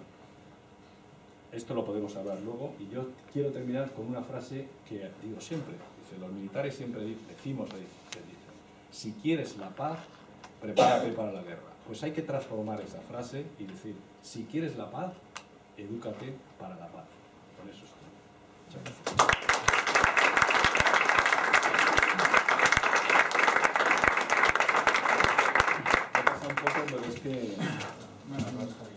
Muy bien, muchas gracias Javier. Tenemos tiempo para eh, participación de, la sala, eh, preguntas, opiniones diversas, etcétera. Entonces, si os parece, abrimos el turno de intervenciones. ¿Quién quiere comentar algo, preguntar alguna cuestión, opinar? ¿Sí? Y, Micronegas, seguramente en aras de la brevedad y tal, nos por ejemplo, un asunto que está ascendente, que es la, la invasión de Kuwait, sí. que es el detonante a, mucho más que lo que está apareciendo ahora, sí. porque en ese momento llevamos exactamente 67 años sin guerras, sin guerras totales, ¿no? Y la gente tiene ganas de guerra. Sí. Los países internacionales y las grandes potencias tienen ganas de guerra. Y encontraron ahí una excusa muy grande para coaliarse, para cimentar el aspecto de la coalición internacional, etcétera, etcétera. En ese momento es, eh, recuerda tiempos muy, muy pasados ya, a Godofredo de Bullón y a algún otro papa llamando a la cruzada. Y cruzada es lo que sí, tenemos ahora. Sí. Además una cruzada no, no al contrario que a, a luchar los santos lugares y alguna cosita más para que los príncipes ociosos de, de Europa estuvieran allí guerreando y dejaran que los, los príncipes trabajadores estuvieran tranquilos en sus países y demás. Es una, una, interpretación muy simple, pero yo creo bastante clara. ¿no? Y estamos ahora en una situación exactamente igual. Eh, si, si, realmente las grandes potencias tienen ganas de guerra, ¿hay realmente alguna opción? Estoy hablando de la otra causa que es en el año 48 la expulsión de, de los... Eh, de los eh, palestinos, sí. perdón, de los palestinos, de los sionistas a, a establecer su nuevo país, ¿no? Eh, el tema de los kurdos pues sigue siendo igual, un país con muchos millones de habitantes pero que está eh, en, la, en la diáspora, en otros países distintos y tiene que encontrar su país. ¿Lo, lo vamos a volver a hacer eso también, las grandes potencias? Es que ese es, ese es el, el, tema, o sea, esto es una visión, la visión orwelliana es la de la guerra perpetua, ¿no? O sea, las grandes, los poderes, la guerra no está para ganarla, sino para perpetuarla, que diría Orwell en 1984, ¿no? O sea, ¿Y por qué? Porque la, la, guerra mantiene a la gente alienada de alguna manera y además es un gran negocio. Esa es. Pero bueno, contra eso precisamente hay que, hay que poner esto, hay que fomentar la cultura de paz en todos los órdenes. Por eso hay iniciativas muy importantes para que, para que se fomente esta cultura. Efectivamente tiene razón que he, he, omitido montones de cosas de la brevedad, como por ejemplo la, guerra Irán-Irak. La guerra Irán-Irak, potenciada entonces Saddam Hussein era un gran amigo de Occidente, porque era para parar a la Ayatollah de los, a la, al, al, Irán de, los, de Khomeini. España, por ejemplo, en aquellos tiempos, y yo lo recuerdo perfectamente, le vendía armas a Irak. Muchas, además. Algunas a lo mejor fabricadas cerca de Zaragoza. Lo, quiero decir que son todos, todo, la, las relaciones internacionales están llenas de hipocresía, de incoherencia y de intereses, muchos intereses. Los simples mortales y académicos como nosotros, pues nos movemos en el terreno de la... Eh, pero claro, cuando se mueven tantos miles de millones, por ejemplo, ves los beneficios del el ranking del top 10 de las 10 empresas más importantes del, del, de armamento, entre las cuales son casi todas norteamericanas, pues te quedas, dices, bueno, es que estamos aquí, estos tienen un poder inmenso. No solamente esas, sino las logísticas. ¿Paz, verdad? Sí, paz. Paz. Cuando has hablado de la esperanza o las posibles soluciones, que has comparado la salida después de la Segunda Guerra Mundial, eh, has mencionado algo de los poderes económicos. Claro, los poderes económicos entonces, en ese, hace 60 años, yo creo que no era comparable el poder que tenían con el poder que tienen ahora. Entonces, la pregunta es, lo que te preguntaba es, eh, ¿no crees tú que quizá el poder económico haya alcanzado tal poder que sea imposible una solución. Pues sí, e, efectivamente yo Paz creo que tiene razón. Comparto que hoy en día con el sistema económico financiero que tenemos, el poder que tienen es impresionante. Y la prueba la tenemos a nivel local. A nivel local, dice, no nos gusta este gobierno, ya no pongo el ejemplo aquí. No les gustaba el de Italia, pues ponemos al señor Monti. A, a quien pusieron a, a un tecnócrata, Monti, ¿no? Sí. Tienen un poder impresionante, o sea, no deciden, eso estoy de acuerdo, la, las grandes empresas transnacionales, eh, por ejemplo, vamos a ver ahora mismo, en Irán, en Irán, ¿quién está intentando sobre todo hincar el diente? Entre otras, Shell y Total. La Total es la Shell anglo, anglo. Están intentando meterse ahí y no les importa que venga el señor Rouhani y tape, las estatuas o no le dé la mano a las mujeres. No importa el pimiento, o sea, ellos van al negocio. Irán dejó de ser amigo, ¿cuándo dejó de ser amigo? Cuando la Guardia Revolucionaria nacionalizó el petróleo. Dijeron, pues, en vez de ser para las grandes empresas, es para las élites nuestras, para la Guardia Nacional Republicana, que son los que tienen ahora la empresa nacional de petróleo. Y es un poco eso. yo, coincido, yo tengo esa visión también. O sea, ahora mismo el mundo está en poder de dinero y, hay mucho. No sé si nada. Sí, sí. Quería comentar que, bueno, he encontrado algunas, algunas omisiones que supongo que, que las seguro, seguro que las habrá. Pero he visto quizás su análisis más bien correcto desde un punto de vista diplomático, pero quizá desde un punto de vista intelectual a lo mejor habría que ser un poco menos confraternizador. Le comento. Por una parte, he echado en falta el comentario de que eh, los conflictos en esa zona del mundo son mucho más antiguos. Ya Basta con leer cualquier texto sobre política romana para saber que ya había problemas allí mucho antes. ¿no? Y, respecto al Corán, bueno, usted ha buscado ejemplos que son muy constructivos y edificantes, pero reconocerá si lo ha leído que hay textos absolutamente rechazables y deleznables desde el punto de vista intelectual. Eso es así. No, no quiero comparar con otras religiones, donde también se pueden encontrar casos parecidos, pero sí que quiero hacer hincapié en un aspecto que eh, eh, estamos hablando de la zona donde nacieron las tres religiones monoteístas. Y eso puede haber sido una fuente de conflicto permanente. Máxime cuando el Islam es la más reciente de las tres y, tiene dos, dos, cosas que le hacen estar en inferioridad, entre comillas, ¿no? respecto a las otras dos. Una es su juventud, es la más reciente, lo que quizá ha permitido que no ha permitido que llegue al nivel de maduración de, la tradición judaica o de la tradición cristiana. Y sobre todo el hecho de que el concepto de la UMA eh, tiene una clara tendencia hacia convertir la sociedad en una teocracia, cosa difícilmente compatible con la libertad que tanto nos ha conseguido conseguir, nos ha eh, costado conseguir. Sí, bueno, yo efectivamente tiene razón lo que ha dicho. Yo pido excusas porque veo que hay personas que, saben bastante del asunto, eh, eh, tengo que ser breve. Y efectivamente, si nos remontamos a las causas históricas, tendríamos que irnos al imperio persa o más allá. ¿no? En cuanto al tema de la religión, coincido exactamente lo que dice. O sea, el, el, el problema que ha ocurrido en el Islam es que no ha tenido la revolución de la ilustración que nosotros en Occidente hemos tenido. Entonces, los que ahora mismo, en estos momentos, manejan la interpretación de los textos sagrados, como lo he dicho al principio, son los más fundamentalistas. Cosa que en Occidente no les, no, ya no lo permitimos, esa interpretación de nuestros textos sagrados de esa manera fundamentalista. Y por eso es donde quiero incidir, sobre todo los puntos, por ser claro eh, para la gente que no está muy iniciada, en Arabia Saudí y en Irán. Arabia Saudí tiene la versión de... es un sistema wahhabista. Wahhab fue un filósofo del siglo 1700 que tiene una visión integrista y fundamentalista del Islam. Y esa es la visión que tiene la monarquía saud. Se aprovechó de ella sobre todo a partir de los años 30, que es cuando la imponen. ¿Por qué? En los años 30 lo relaciono con mi análisis, a lo mejor muy materialista, pero es así. Cuando el petróleo empieza a ser muy importante. Y entonces una manera de mantener a los pueblos subyugados y decir, todo lo que tengo es mío por obra de Dios y gracia de Dios.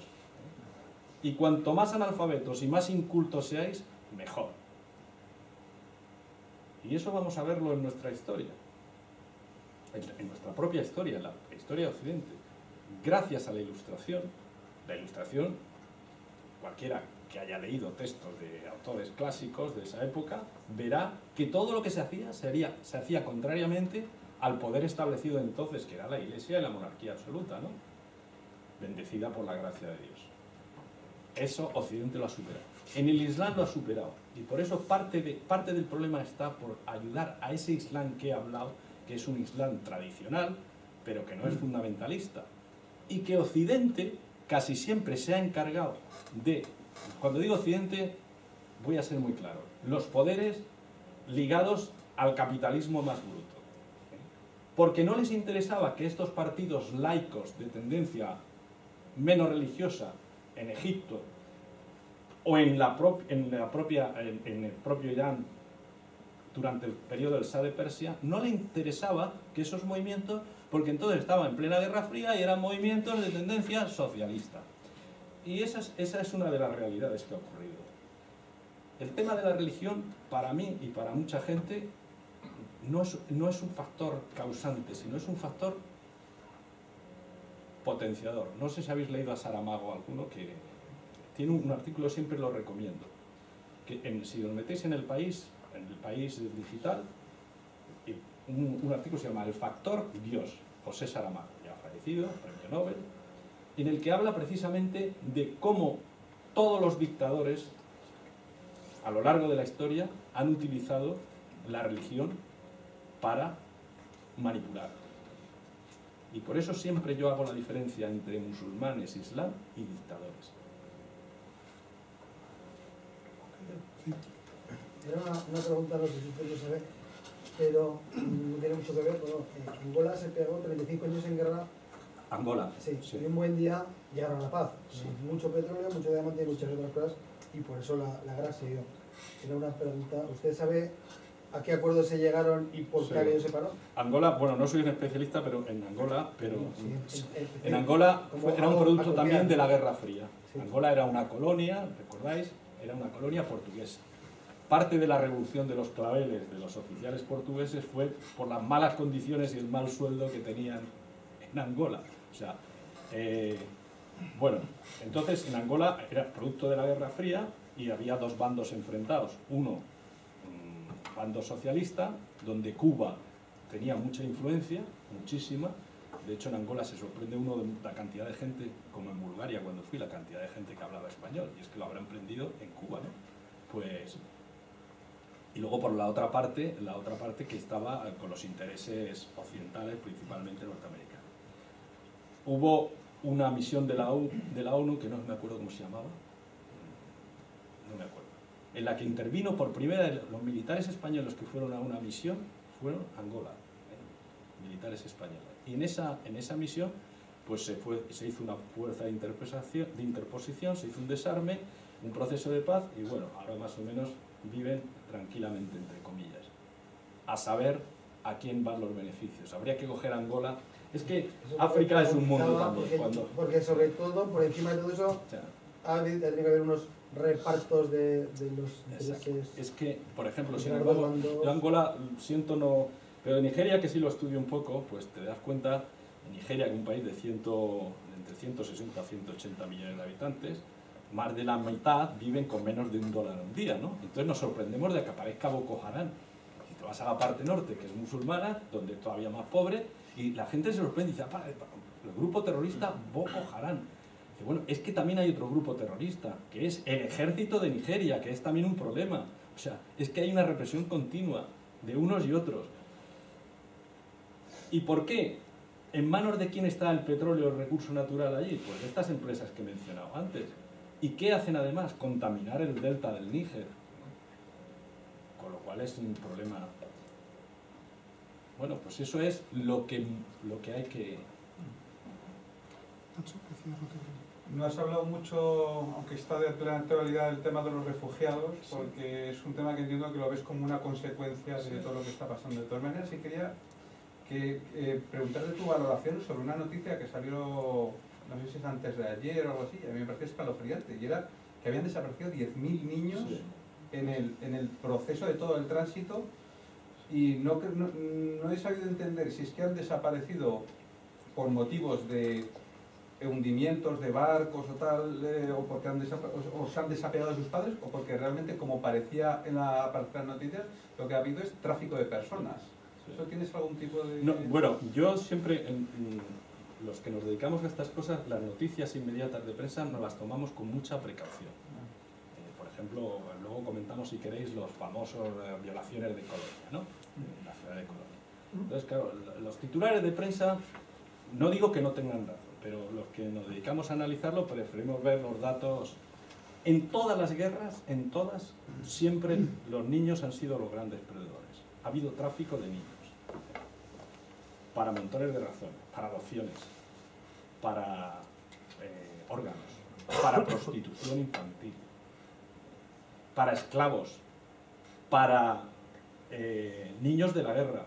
En África se hace mucho, o sea, en todas las Entonces, no es de extrañar, yo ahora mismo, las mismas noticias, no tengo ningún estudio documentado y que me acredite que eso, pero sí que la noticia puede ser verídica no sé si 10.000, 3.000 o 50.000, pero que no me cabe la menor duda de que haya mafias dedicadas a esto, y vuelvo a repetir, eso es consecuencia de que Occidente, Rusia y los poderes no utilicen los medios militares, entre otros, y de inteligencia para esas cosas, para, para atajar esas cosas. Sí. hace un par de meses eh, hubo una noticia que el anterior ministro, primer ministro británico, Tony Blair, reconocía que se habían cometido grandísimos errores en Irak, incluso entendían que la situación actual de desestabilización que había hoy en todo Oriente Medio era consecuencia de, de, esa mala actuación en Irak. ¿no? Eh, por otro lado, usted mismo ha comentado que la sensación de, humillación que tienen los, los, los árabes es una de las principales causas también de, su actitud hacia Occidente. ¿no?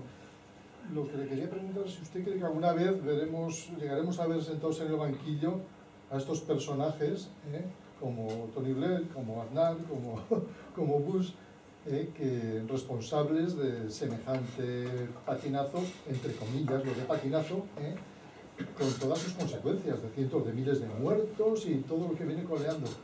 Porque habría que entender que una forma de devolverles la dignidad a esos musulmanes que, que tanto hemos humillado sería hacer justicia eh, con, esas personas y crear un tribunal, pues ¿por qué no? Un tribunal internacional donde se juzgaran a estas personas y, vieran que, que, empezamos a hacer gestos ¿no? para, para arreglar la situación. Voy a contestar a la gallega. Vamos a ver, yo, he hecho dos cursos de Derecho Internacional de la Cruz Roja y la Media Luna Roja y entonces he, llegado, voy a hacerlo muy irónicamente y cómicamente, he llegado a la conclusión de que siempre tengo que ganar la guerra y ser muy bruto para que al ganarla no me juzguen los, los. ¿Me entendéis? O sea, ¿quién ha juzgado por el lanzamiento de las bombas atómicas? ¿Ha, ha habido algún Nuremberg por las bombas o por los bombardeos de Colonia, Dresde y Hamburgo con bombas incendiarias en la Segunda Guerra Mundial? o con los bombardeos con Napal en Vietnam? ¿Ha habido juicio, algún juicio en tribunal internacional que haya juzgado eso? Pues creo que te he respondido a la pregunta. ¿No es un poco sorprendente que lo haya reconocido el Tony Blair? Bueno, yo ya la, en, la... O sea, yo, yo, no quiero entrar, ni debo entrar en cuestiones partidistas y menos españolas. Cada uno que tenga su opinión y yo creo que le ha dejado la mía bastante diplomáticamente bien clara. Sí, sí. Eh, digamos que en la charla eh, se han puesto de manifiesto muchas de las causas que dan origen a los conflictos, ¿eh? en plural, en Oriente Medio. Pero luego una, aparece un poco el, tema del islamismo, que es algo distinto. Y el islamismo parece que se centra en un periodo más corto de tiempo, en los últimos a lo mejor 15 o 20 años, y algunas de las razones que se pues acaban de comentar ahora, que si prácticamente están humillados eh, los árabes, que si hay desigualdades, Muchas de esas causas aparecen también en otros grupos eh, mundiales, por ejemplo pueden ser los negros en Sudáfrica, negros en Estados Unidos, etc. Y no han derivado en, elementos, eh, digamos, tan extremistas, etc. Y volviendo otra vez al tema un poco de la religión, pues claro, resulta que, que evidentemente el Islam hoy en día que tenemos un aspecto de globalización total, en el cual en cualquier aldea de cualquier sitio uno puede comparar vía con otras cosas, pues parece que no admite la prueba del algodón en esa globalización. Y yo no sé si hasta qué punto esa globalización eh, genera, de alguna manera, ese estado de islamismo como defensa. ¿eh? Porque pérdida de cultura la tenemos hoy en día en casi todos los sitios. Y, uno viaja y te encuentras las mismas tiendas en todos los lados, y los mismos productos, y las mismas, la cultura de alguna manera se está igualando casi casi eh, por parte de una cultura que está más focalizada en determinadas zonas, que proviene de determinadas zonas, pero hay una globalización y como consecuencia de eso parece ser que hay una relación de defensa. Pero de cualquier manera eso no exime que en el 95% de los muertos que hay en Irak sean muertos entre, de religión, son sean muertos entre personas musulmanas. Y que esos conflictos de, de sí, eh, esas de, de, los chiitas y los eh, suníes, pues parece que no es un elemento que es potenciador, pero parece que es potenciador exponencialmente. O sea, no, no, la, palabra es un poco contradictoria. pero, pero que resulta que, que, parece que se pasa un poco de puntillas cuando realmente estamos dando cuenta que es un elemento mucho más importante que, que otros externos que también los hay, pero que también sufren otras zonas del país y que no dan otras zonas del mundo que no dan lugar a, a, esos elementos posteriores tan negativos, a esos efectos colaterales. Terrorismo es un efecto colateral en el islamismo, pero que resulta realmente que no aparece en otras zonas.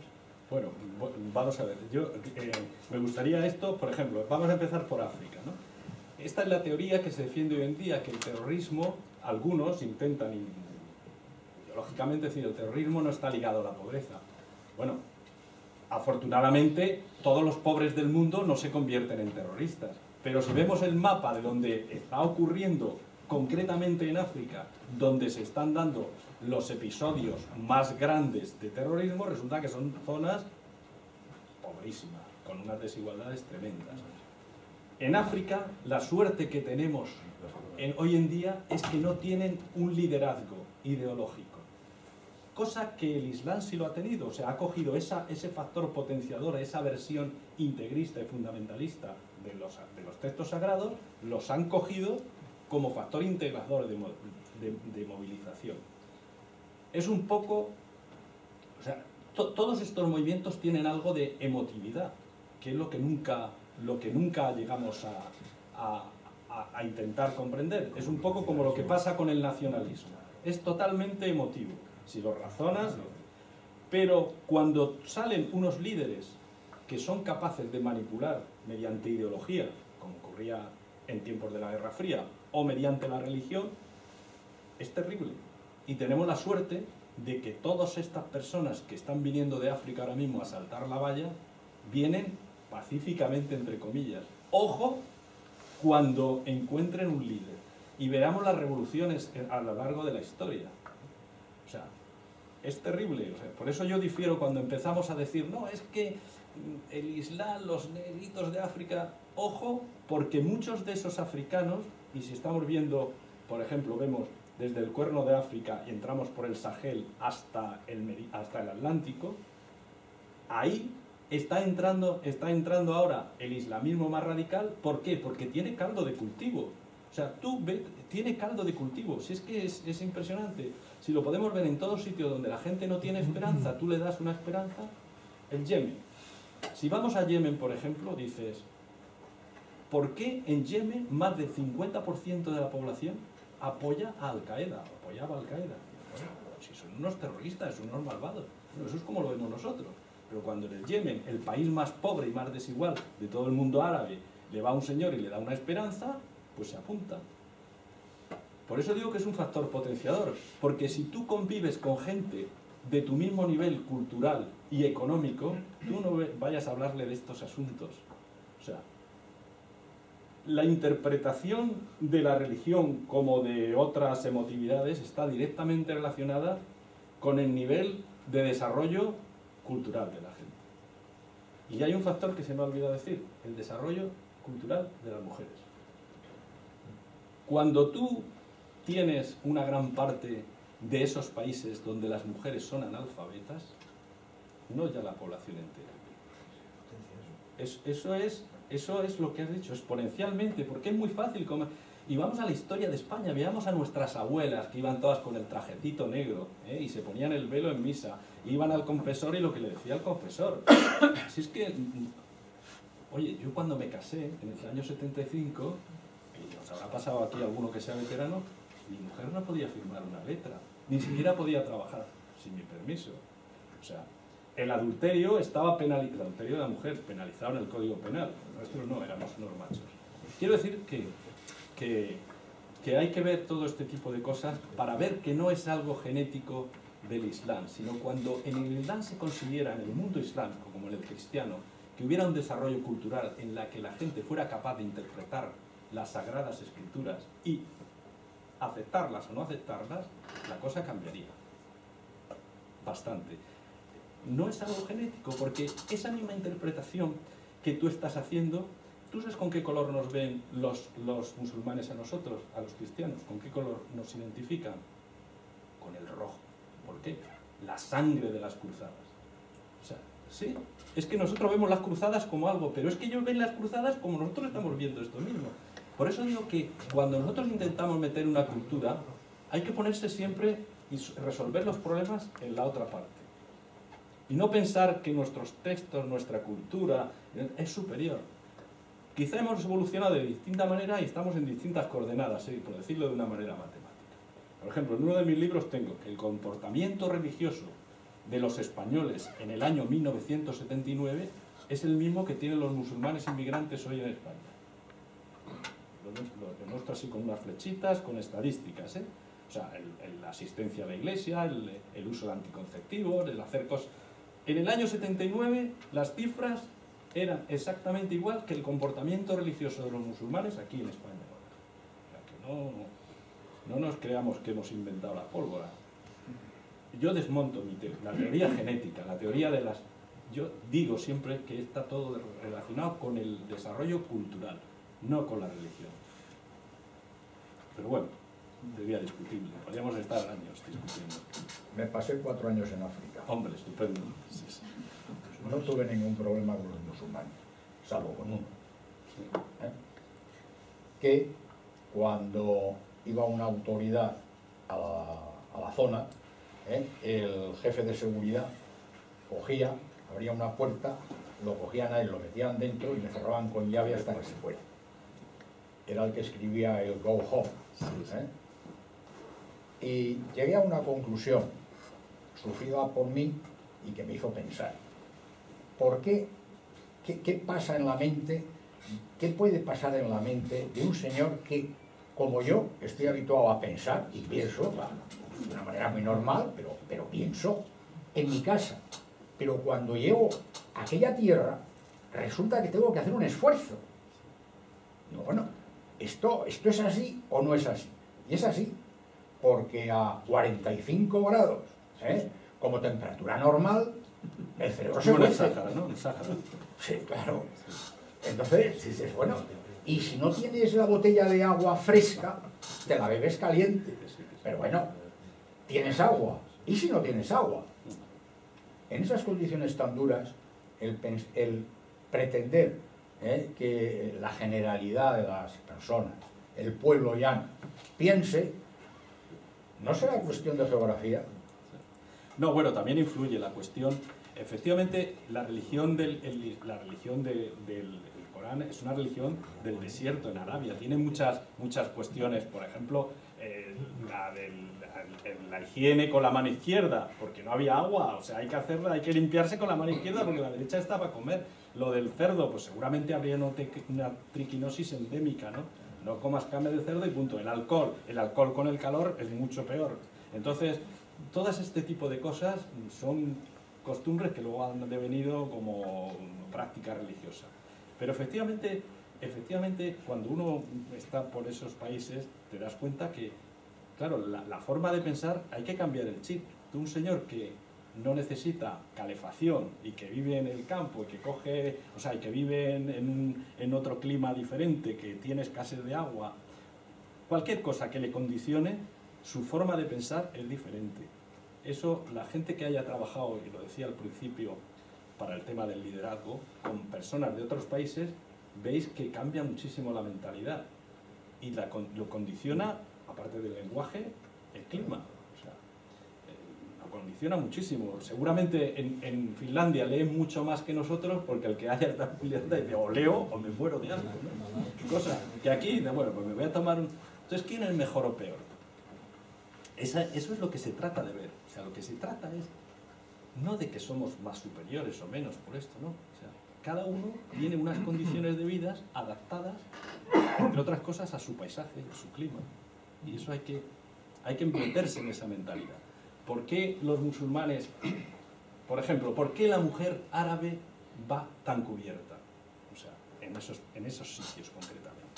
Pues es una medida de protección ancestral para el sol, para mantenerse bella. No había cremas, no había... Entonces, tiene que mantenerse bella para su... ¿Por qué se podían casar con varias mujeres? Cosa que ahora casi no hay bigamia ni poligamia.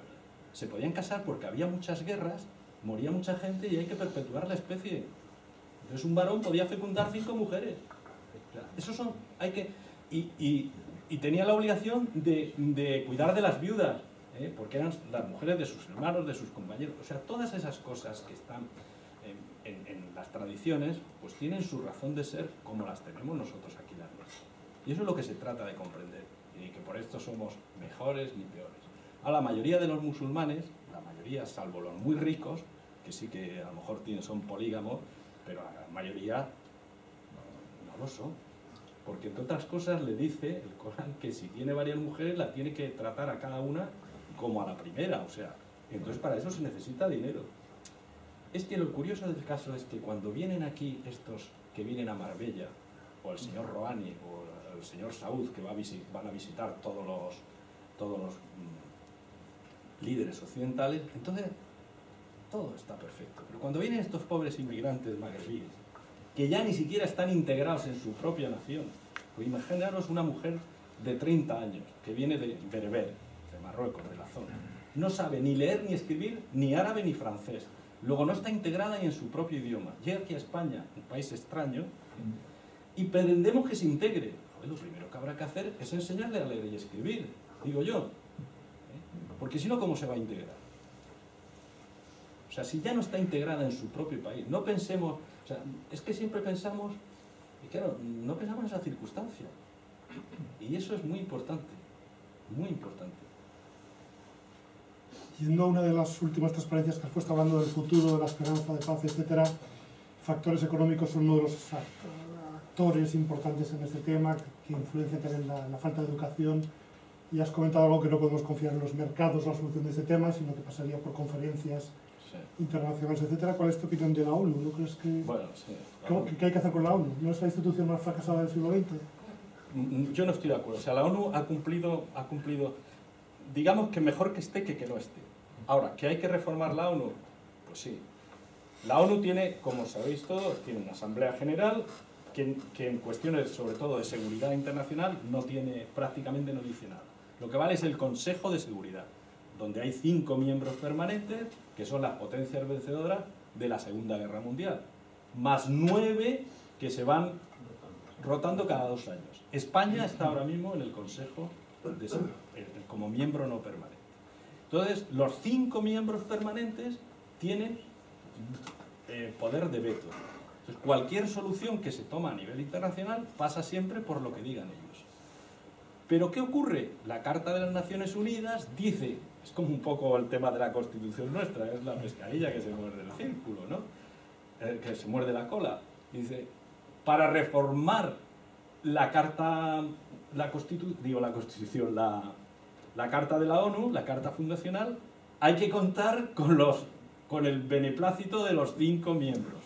Luego, entonces no se reforma esto nunca. Claro, es, es un problema terrible. O sea, Naciones Unidas es un problema hay una cosa, por ejemplo, ¿vosotros creéis que un comité de derechos humanos lo puede presidir un embajador de Arabia Saudí? Pues lo preside. Y en, ese comité de derechos humanos hay países como China, Como el propio Estados Unidos, que no nos olvidemos que también tiene la pena de muerte, ¿eh? como Rusia. O sea, esos son la gente que compone la Comisión de Derechos Humanos. Esto es absurdo. Ahora, que la ONU, por ejemplo, en materia de seguridad, pues gracias a las misiones internacionales de paz, pues algunas veces han conseguido cosas importantes ¿eh? en las que España ha participado. La ONU, como todo, necesita una reforma ¿eh? y adaptarse a los tiempos, pero ¿quién le pone el cascabel al gato? Estamos relativizando el concepto de derecho humano. ¿En qué sentido?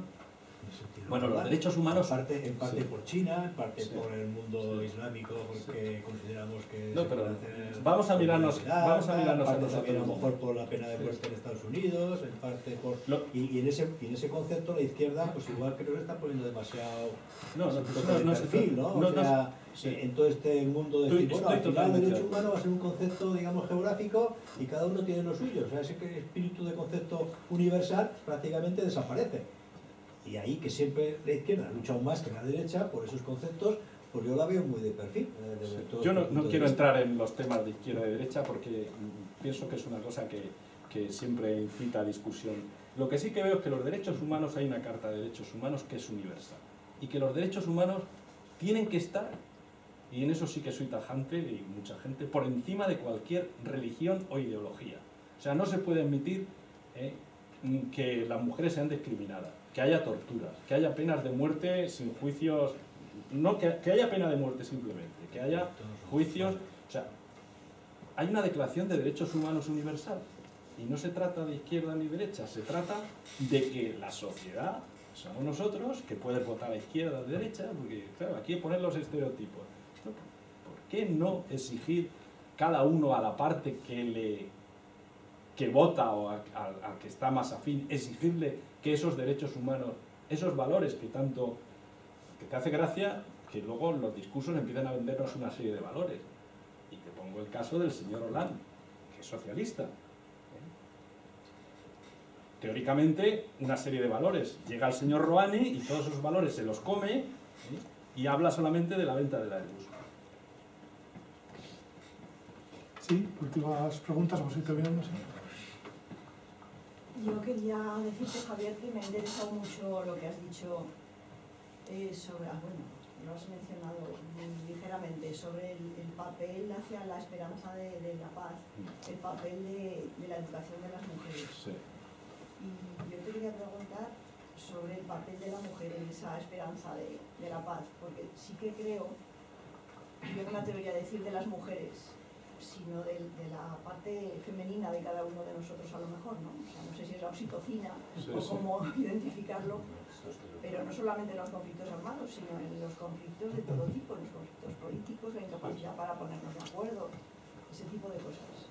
Pues sí, Eh, efectivamente, mira, el- el- yo comparto la idea de que no, no soy partidario de, de, digamos, de por ley hacer igualdades. No, sea, lo que, soy, lo que soy partidario es que cada uno, o sea, que no impedir a nadie que por su sexo, su raza, su religión, sus creencias, pueda llegar.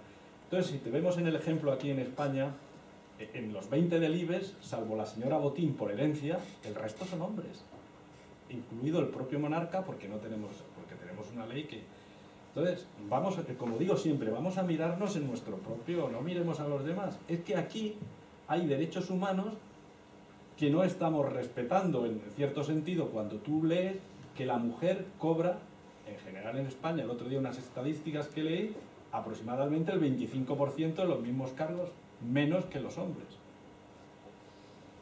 Y volviendo al tema de la educación, cuando en estos países que estamos tratando ahora mismo, los índices de analfabetismo, países del Magreb y algunos países árabes, es enorme, o sea, supera el 50%, pues no se ha dado el paso hacia el desarrollo y el progreso.